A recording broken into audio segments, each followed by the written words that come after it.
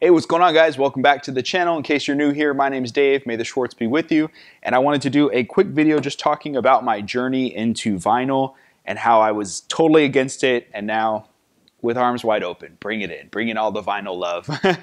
um, so I just wanted to kind of explain a little bit about my journey and hopefully you guys can relate if you're into records as well and let me know what you think in the comments down below. And of course, subscribe if you haven't joined the Schwartz Force yet. I missed yesterday. I didn't realize, you know, May the 4th and then May the Schwartz, like, I completely missed the opportunity. So next year, next year I'll get it. Uh, but real quick, before we get into it, let's do a wristwatch check. So this is actually a watch I just got today. I'm giving it some wrist time before I do a review, but it will be coming out. And this is a Timex, um, I guess like a vintage. I've never heard of these watches before. I, I came across it randomly. I really like the look of this one and I'll, I'll talk more about that when that video comes out. So make sure you stay tuned for that. But today I'm just going to go over my journey with vinyl and the progression of how it came to be. So let's get started.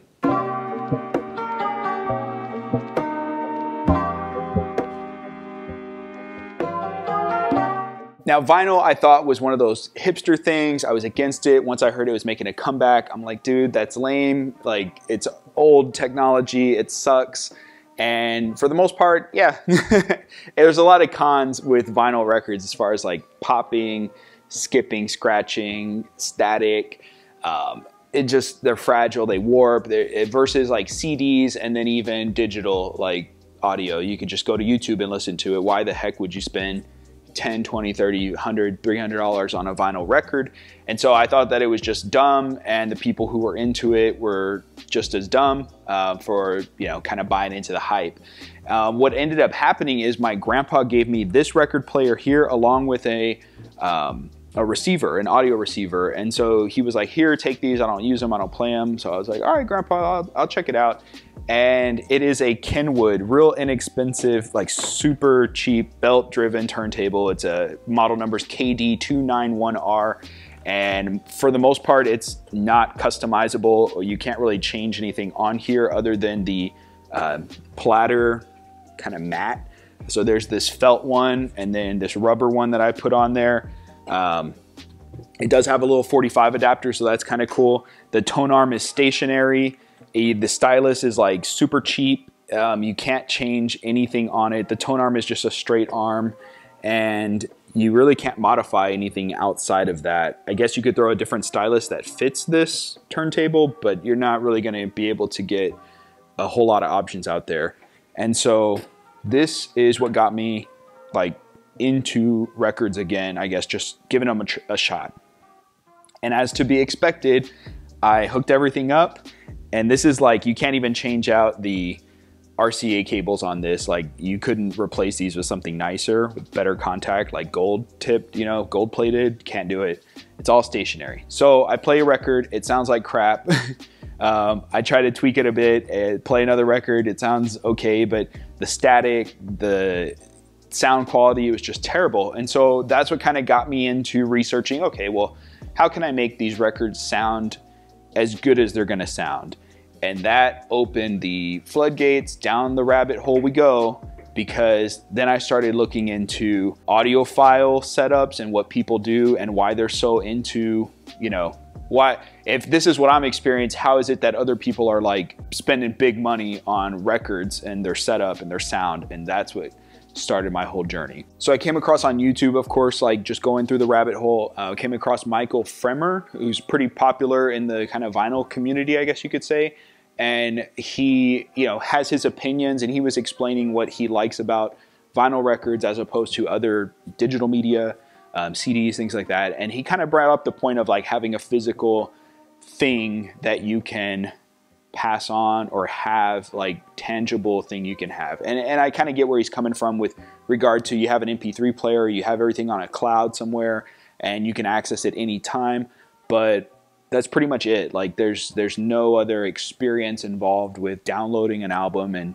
that's it. And then I started getting into like how can I make this sound the best on my setup and I realized that you start learning about like sound acoustics, sound quality and how sound bounces and how audio works, just wavelengths and uh, acoustic qualities, things like that. And that's what kind of got me thinking, okay, let me start putting some money into these little things. Obviously, I'm not going to spend thousands or tens of thousands of dollars on a setup, but I can drop a few hundred here, drop a few hundred there, get some decent speakers, get some really good speaker wire, and then just make this setup as good as I can make it. I'll link the video that actually talked about the sound, like what got me thinking about all this, and I'll put it in the description down below. It's really cool and just kind of talks about your setup in your room, if you have carpet, glass, uh, just the distancing of things, really cool.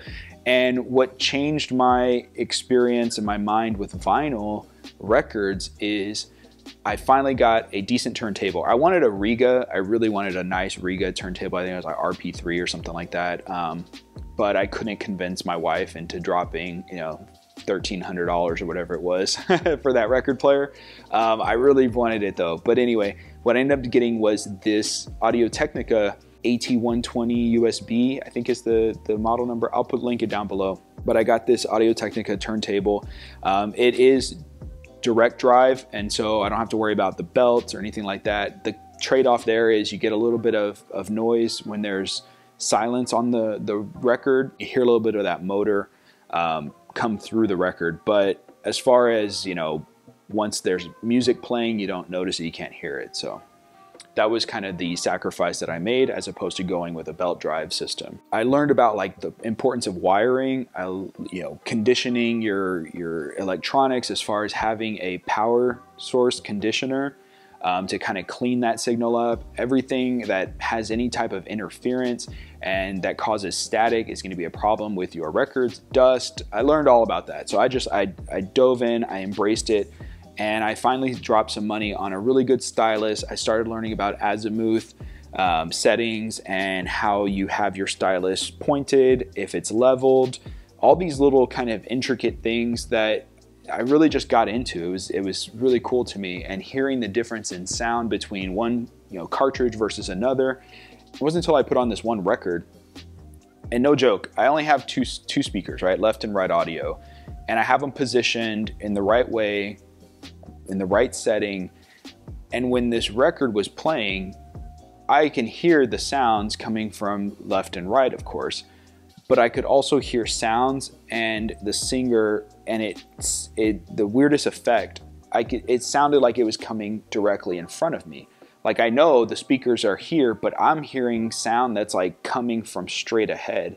And it's kind of hard to describe, but I guess like the presence of the music was there in the room, the spatial distancing and everything. It's just this weird effect. I'll never forget it. And I realized like, okay, this is why these people are so into vinyl records. Like now I get it because there's stuff that you get that you can experience with a record that you probably can't get with digital no matter how much money you throw into your ses- your system, your setup. And that is what got me going into it. And man, once it got to that point, I was like, all right, now my journey is going to consist of what kind of records do I want to collect? And so I started thinking about it, and everyone has pretty much people that are into records, they're gonna have the same albums. They're gonna have Pink Floyd, they're gonna have Led Zeppelin, they're gonna have all of these like iconic records. Uh, you know, if they're into rock or whatever it may be, they're gonna have like these specific records for different genres. And I get it because they're popular. Like it's for a reason but I wanted to go a different route and I wanted to find these kind of obscure, maybe less known artists records that um, were really cool, great music, stuff that I could enjoy, but maybe not everyone has in their collection. And so that's kind of the route that I took. And if you look at my record collection, which I'll do on another video someday, I'll talk about my favorites and some and how I came across them. Really cool stuff. And if you like vinyl, if you are into discovering new music and finding new stuff, then definitely check out my vinyl channel, which is called Vinyl Casual. So youtube.com slash vinyl casual, I'll link it down below as well. You can go check out some of those videos that I have um, and you can see my setup and kind of how it's progressed from early on and then what I have now. Give it a listen and let me know what you think because a lot of times when you think of records, you think of like static, popping, clicking.